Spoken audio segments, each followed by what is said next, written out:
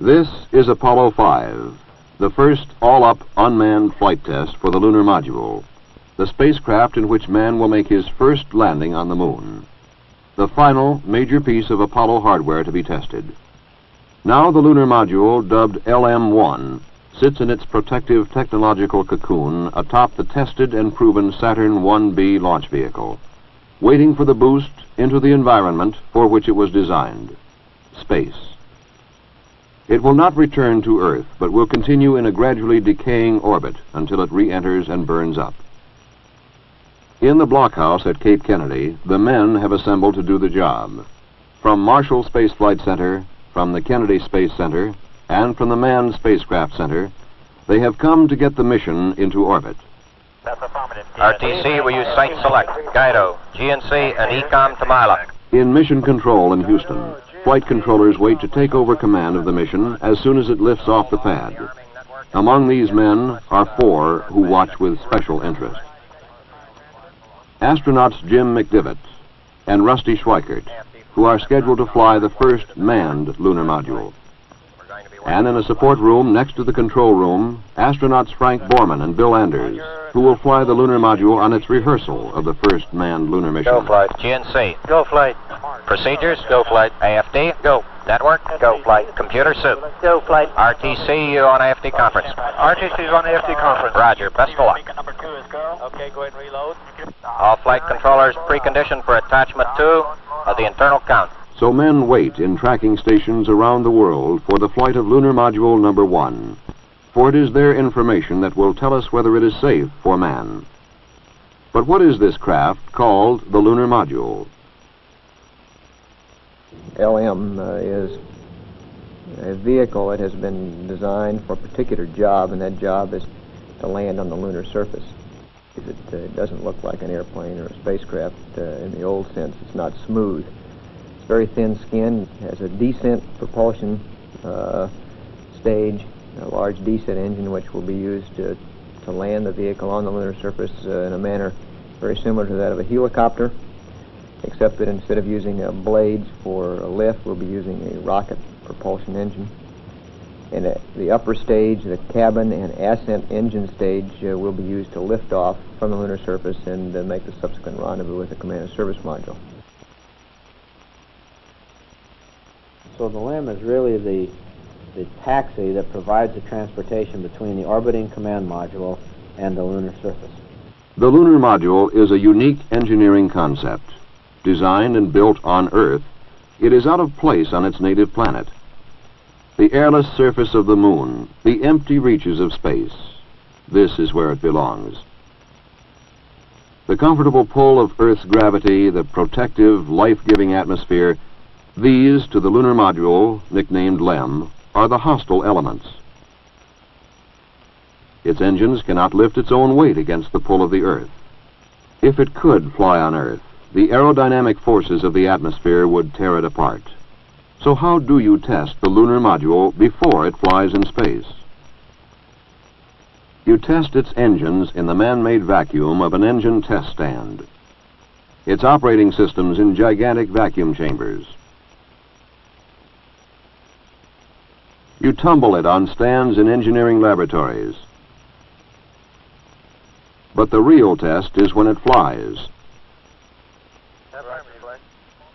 Roger, I am in flight control. Final status check, booster. Go. Retro. Go. FIDO. Go. Guidance. Go. EECOM. Go. While the primary instructions for the mission are carried on board the LEM, the men on Earth in mission control can take over and fly it if necessary. But why all these elaborate precautions and details in an unmanned flight? Unmanned LEM-1 mission is one of the key missions in the entire, entire lunar landing program. You must remember that the LEM is every bit as important as the spacecraft as the command module, the Gemini, or the Mercury was, and this is the first flight of the vehicle. Naturally, uh, we'll all be looking at it with uh, very, very keen interest. Flight CVTS Black 2, verify your go for launch. Roger, we are go for launch. Okay, all flight controllers, let's play it cool. Low sequence start. 15, 14, 13, 12, 11, 10, 9, 8, 7, 6, 5, 4, 3, ignition. Ignition detected.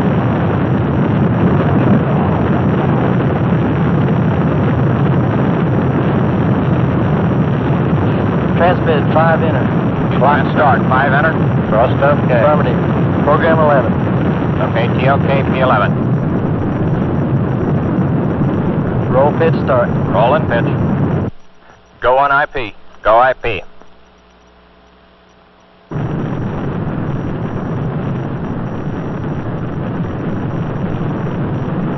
Stand by for nose. The launch and insertion into Earth orbit are on the nose. Cut off plus 50. Roger, cut off plus 50. The aerodynamic shroud is jettisoned. Roger, nose cap jet. Now, the next critical step the opening of the protective metallic petals and the separation of Lunar Module 1 from its cocoon. RTC booster, transmitting slot deploy. Roger. We are transmitting slot deploy. Okay, all flight controllers, we have slot deploy A and B relay indications, no physical monitor indication. Everything is nominal. We get a go for separation. On schedule, the reaction control engines of Lunar Module 1 pull it free of its protective cocoon. The space butterfly rests its wings before it flies. Now begins the long coast preparatory to the first firing of the descent engine. While the LEM coasts, tracking stations pinpoint its position and determine its orbit with accuracy. In Houston Mission Control, engineers are testing the many systems on board. The LEM, I think, is like a big uh, line of dominoes, every one of which uh, has an effect upon the one, uh, one it's associated with. And nothing uh, can occur in one that doesn't somehow affect the others or the total uh, mission. So, LEM 1 coasts on, guided by its onboard programmer, seen only by the radar eyes of the tracking network, watched over by the men in mission control. We will not pulse the engine. The maneuver is go at this time based on the onboard. Roger, Houston. Roger, Houston is go for the burn. The lunar module nears the Australian coast. The Carnarvon tracking station takes command. The time is nearing for the first burn of the descent engine, the first rocket engine designed to be throttled, a necessary feature for a lunar landing. This will be its first burn in space. Mark, predicted ignition. Dipped on. Dips on, 10%. 10%. Tone. We got a pings caution. Program caution. Roger. Dipped off. But something goes wrong. Instead of the full 38 second burn, the engine shuts down after only 4 seconds. Roger. An early look at the data indicates the onboard computer did not allow for the tolerances and errors within this most complex of all missions. It shut down the descent engine when it sensed an error of less than one and a half seconds. And computers don't argue. Capability of a crew, I think, is uh, very uh, significant in that you don't you can uh, you can change your mind in flight. Uh, you don't have to uh, be restricted by the uh, rather narrow capabilities of any pre-programmed uh, mission. Faced with the unexpected, the computer made the only decision it could, and it was the wrong one. Now the success of the mission rests squarely on the team in mission control and in the tracking stations. The nominal plan is out the window. On communications lines all over the world, the alternates are discussed. But the final word must come from Flight Director Gene Kranz. I guess our best plan here, and I think the way we're going to go, go ahead, is alternate Charlie. Go ahead. In the attitude you've got. Go ahead. At 6.15 elapsed. Go ahead. Okay. The long throttle burn of the descent engine would be cut to two minutes and occur during its pass over the United States. Then the descent engine would go to 100% thrust preparatory for the biggest test of the mission fire in the hole. Let's suppose that we're descending using the descent engine and suddenly we discover some fault in the descent or the ascent stage for that matter. Well, we would like to return to a safe lunar orbit.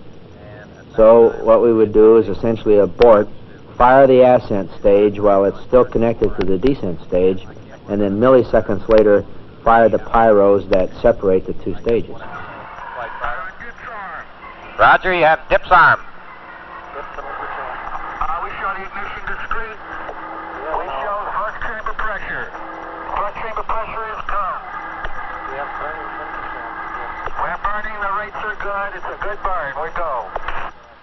Over California now, up and down the power scale.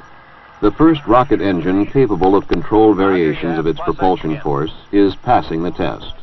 This is the time of maximum stress on the lunar module and on the men, flight controllers, astronauts, and engineers, to whom Lunar Module 1 represents years of their professional lives. And now there is another factor. A second test for the ascent stage is a burn to depletion of its propellant. This was to come one orbit after fire in the hole to test the restart capability of the engine. Now, if it looks critical, this burn will be combined with fire in the hole. Max thrust. Raj. Watch stage. Staging. Raj, staging. Apps on. They're burning Okay, apps. let's watch this. We got 60 seconds. Let's make a good go no go here. Flight fighter, we're looking at White Sands track. It is good. It's solid. We're go. Raj. The burn is good.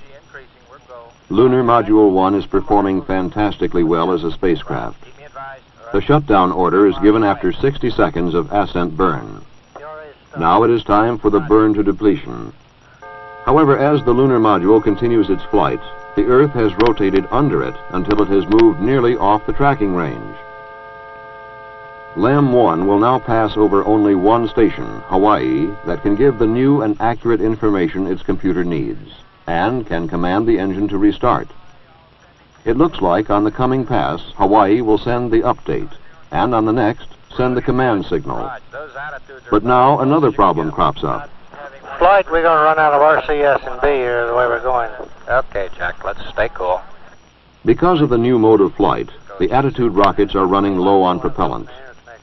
It looks as though these small but critical engines may not last for two more orbits. But an update of orbit information shows that Lunar Module 1 will just pass within range of the Carnarvon station, whose range has been extended by the addition of the tracking ship Coastal Sentry Quebec, CSQ. Flight Director Kranz makes his decision. Update at Carnarvon and fire at Hawaii. It's go for the burn. Guidance from flight, we're having a lot of dropouts. Roger, flight. Ecom, let him know when he's clear to command again. Go. But the pass over Carnarvon is too short. The full update does not get to the lunar module, including an instruction that would have drained some of the propellant from the ascent engine tanks into the tanks of the Attitude rockets. Without this propellant, it is doubtful if the final ascent burn can be ignited. Now it gets tight. Tank pressure is just enough. It has to be this orbit. The flight team is under the gun. Kranz's plan is time critical. The rest of the information will be sent up early during the Hawaii pass. After a quick guidance check, the ascent propulsion system will be fired. The signal to ignite the engine is PRA 5. Jeff, clock and compare pulses. That's negative, flight. We got a spacecraft reject on that. We don't show any clock compare pulses, flight. Retransmit. Guidance execute PRA start. It's go. The burn works. Okay, And at shutdown, it holds. You got it? All systems are still operating as expected, beyond what was expected. You're going to transmit NAG select here for me? It's been a tremendous test of the engine, and that's what it was all about. Do you want me to stand by here? Negative, you've done it all, and good work, Gary. Beautiful job. Throughout the flight of Apollo 5, the lunar module had performed magnificently. All systems operated either as predicted or far exceeded the predictions. The inability of an onboard computer to cope with a programming error was overcome by the infinitely more flexible mind of man. Hundreds of additional commands sent from Earth put the lunar module through a demanding real-time test. So, Lunar Module 1 tumbles on through space, its orbit decaying mathematically until it is destroyed by the atmosphere of an Earth on which it was created, but to which it cannot return. Lunar Module 1 was the first, the first space test of a manned vehicle designed to explore another world. This was the flight of the machine. Soon, it will be time for man.